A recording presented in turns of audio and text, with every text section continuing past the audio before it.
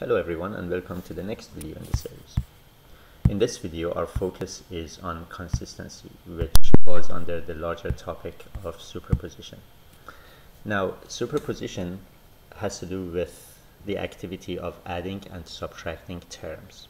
When we talk superposition our focus is always on terms. Consistency has to do with the units of these terms. Now it does make sense for me to add and subtract quantities that have identical units. As an example, it does make sense for me to add 120 kilograms, 132 kilograms, and then subtract 84 kilograms. However, it does not make sense to add and subtract quantities that have different units.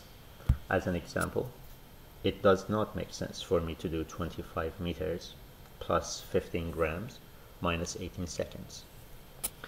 And we call an equation consistent if all the terms in that equation have identical units. To explain, uh, let me uh, give you a couple of examples. Here's problem number one. On the right side, Francesca is driving from Toronto to Montreal, a distance of 504 kilometers. This morning, she drove at a speed of 120 kilometers per hour for 2.5 hours what distance remains to be covered. The following equation models the problem. d represents the value of the remaining distance in kilometers. d is equal to 504, which is the distance from Toronto to Montreal, minus 120 times 2.5, which represents the distance that Francesca covered, has already covered. And what we have to do is to show that the equation is consistent. So what we'll do is we're going to identify our terms and then find the units of these terms. If the units happen to be identical, then the equation is consistent. Otherwise, the equation does not really make sense, like this one. All right, so there are three terms here. Uh, on the right side, if you take a look at the equation here, we've got the term d on the left side of the equation. 504 is a term on its own, and then there is the term 120 times 2.5. Let's list them and work out their units. Okay, so for problem number one, we have the term d, that's this term, and the unit of d is kilometers.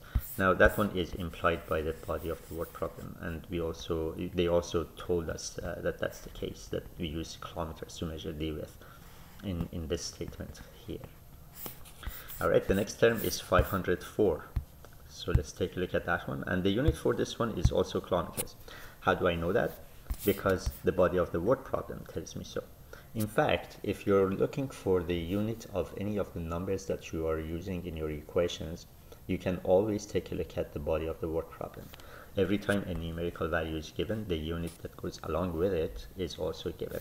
So I know that 504 has the unit kilometers because the word problem tells me so. And uh, next we have the term 120 times 2.5. Now this one is pretty interesting. To work out the unit of this term, we are going to write the unit for 120 and also the unit for 2.5 and then multiply them.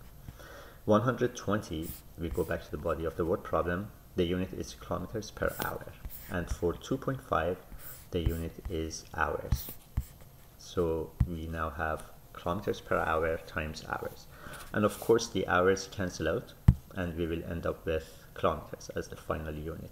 Now, just to be clear about uh, how the units cancel out, uh, this is very, very similar to the situation where we say uh, we have uh, dollars, let's say per uh, per pen, and we multiply this by the number of pens.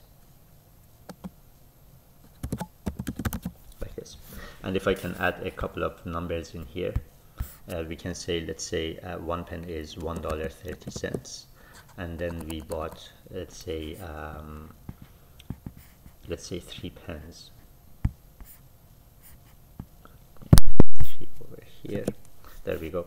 And uh, and therefore uh, just as in this case we can cancel out the pens and arrive at the value of 390 uh, as the total amount of money that we paid uh, the pens cancel out.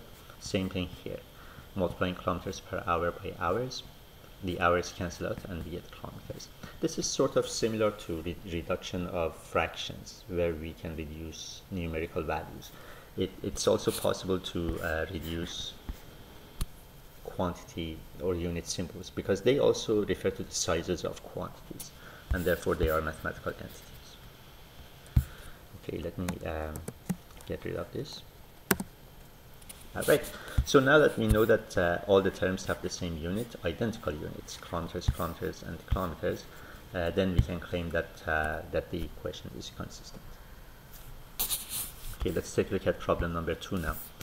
On the right side, calculate the mass of a molecule of C2H4. The atomic masses of C and H are 12.01 AMU per atom and 1.008 AMU per atom respectively. The following equation models the problem above. M is the mass of a molecule of C2H4 in AMU and M is equal to 12.01 times 2 plus 1.008 times 4. Show that the equation is consistent.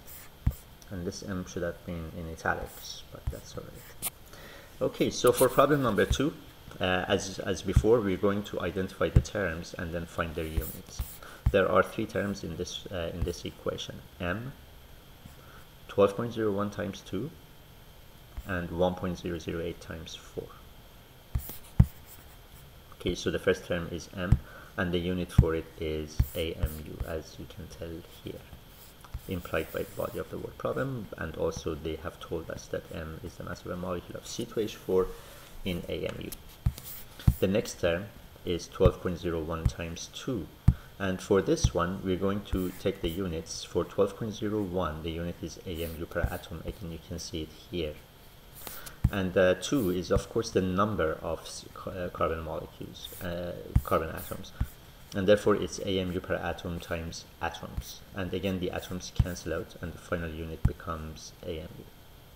The third term is 1.008 times 4 and the units again for 1.008 AMU per atom which is uh, what we see here and 4 is the number of H atoms in a molecule. So that's times atoms. Again the atoms cancel out and we end up with AMU and now we can say that since all the terms have identical units the equation is consistent.